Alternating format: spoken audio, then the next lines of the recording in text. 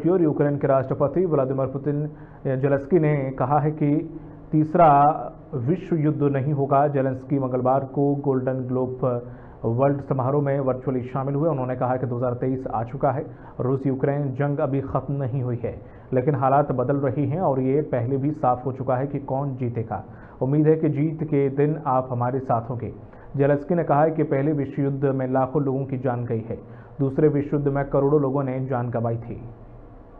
But the tide is turning, and it is already clear who will win. There were still battles and tears ahead.